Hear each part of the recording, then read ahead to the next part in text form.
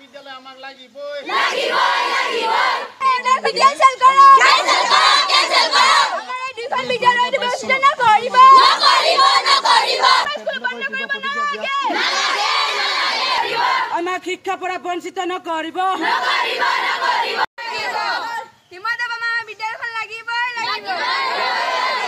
বিদ্যালয়খন বন্ধ নকৰিব। বঞ্চিত নকৰিব আমাৰ স্কুলটো বন্ধ কৰিব আমাৰ বিদ্যালয়খন বন্ধ নকৰিব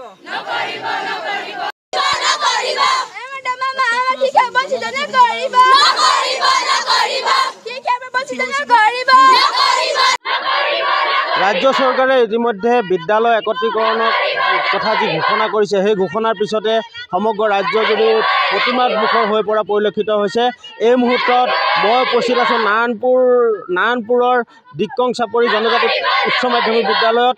ইতিমধ্যে এই বিদ্যালয়খনতো ছাত্ৰ ছাত্ৰীসকল তথা অভিভাৱকসকল ওলাই আহিছে। তেওঁলোকে ইতিমধ্যে প্ৰতিবাদ সাব্যস্ত কৰিছে। বিদ্যালয়খন কোনো কাৰণতে তেওঁলোকে অন্য বিদ্যালয়ৰ লগত একত্ৰীকৰণ কৰিব বিচৰা নাই। তাৰে প্ৰতিবাদত তেওঁলোকে আচলতে বিদ্যালয়ৰ সন্মুখত প্ৰতিবাদ সাব্যস্ত কৰিছে। আমাৰ লগত বিদ্যালয় পৰিচালনা সমিতিৰ সভাপতিগৰাকী আছে। মই তেখেতৰ পৰা জানিবলৈ বিচাৰিম বিদ্যালয়খন আন বিদ্যালয়ৰ লগত একত্ৰীকৰণ কৰিব বিচাৰিছে চৰকাৰে। কি ক'ব? আপোনালোক প্ৰতিবাদ কৰিবলৈ ওলাই আহিছে। চৰকাৰে বিদ্যালয় একত্ৰীকৰণ কৰিব বিচৰাৰ কাৰণে আমি অত্যন্ত দুখ প্ৰকাশ কৰিছোঁ। যিহেতু এইখন জনজাতি বিদ্যালয় ইয়াত আশী শতাংশ জনজাতীয় ছাত্ৰ ছাত্ৰী আছে ইয়াত দুখীয়া ছাত্ৰ ছাত্ৰী আছে চৰকাৰে বান্ধি দিয়া নিয়ম অনুসৰি ইয়াত ছাত্ৰ ছাত্ৰী আছে আন্তঃগাঁথনি আছে। ইয়াত বিদ্যালয়ত ডেস্ক বেঞ্চ মাটি ঘৰ দুৱাৰ সকলো আছে। গতিকে এই বিদ্যালয়খন ইয়াতে ৰাখি ছাত্ৰ ছাত্ৰীক পঢ়াৰ সুবিধা দিয়াটো আমি বিচাৰিছোঁ। চৰকাৰলৈ কি আহ্বান জনাব এই মঞ্চৰ পৰা? মই চৰকাৰক আহ্বান জনাওঁ এই বিদ্যালয়খন ইয়াতে ৰাখি জনজাতিসকলক যাতে কল্যাণ সাধন কৰে। এইখন লখিমপুৰ জিলাৰ বিহপুৰীয়া সমষ্টিৰ অন্তৰ্গত একমাত্ৰ বিদ্যালয় যিখন দেউৰী অট'নমাছ কাউন্সিলৰ অন্তৰ্গত বিদ্যালয় আৰু য'ত শতকৰা আশী ভাগ জনজাতি ছাত্ৰ ছাত্ৰী আছে। হয় আচলতে এই বিদ্যালয়খনত আশী শতাংশ ছাত্ৰ ছাত্ৰীয়ে অধ্যয়ন কৰে জনজাতি ছাত্ৰ ছাত্ৰীয়ে অধ্যয়ন কৰে। ইতিমধ্যে কেমেৰা সহযোগীয়ে সামগ্ৰিক পৰিৱেশ দেখুৱাই আছে।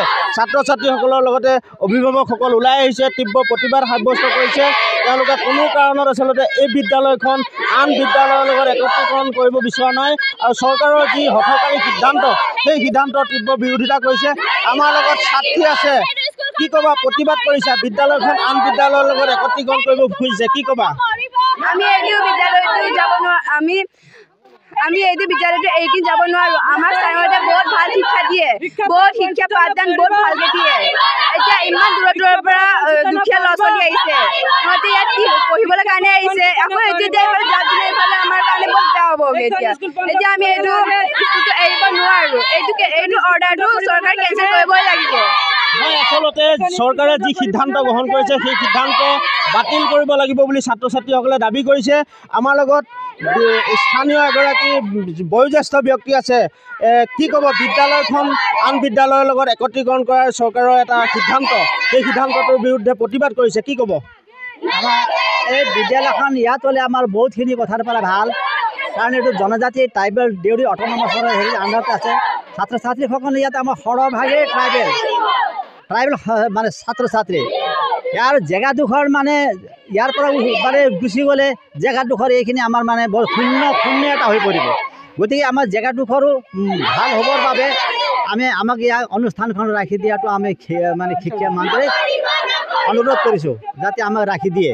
হয় আচলতে অভিভাৱকসকলৰ লগতে ছাত্ৰ ছাত্ৰীসকলেও বিদ্যালয়খন কোনো কাৰণতে আন বিদ্যালয়ৰ লগত একত্ৰীকৰণ কৰাব কৰাৰ যিটো সিদ্ধান্ত সেই সিদ্ধান্তটো মানি ল'ব বিচৰা নাই আৰু তেওঁলোকে এই স্থানতে এই বিদ্যালয়খন ৰখাৰ কাৰণে ৰাজ্যৰ শিক্ষা বিভাগক দাবী উত্থাপন কৰিছে আৰু চৰকাৰে যি সিদ্ধান্ত ইতিমধ্যে গ্ৰহণ কৰিছিলে সেই সিদ্ধান্ত বাতিল কৰিবলৈ এই মঞ্চৰ পৰা তেওঁলোকে দাবী উত্থাপন কৰিছে।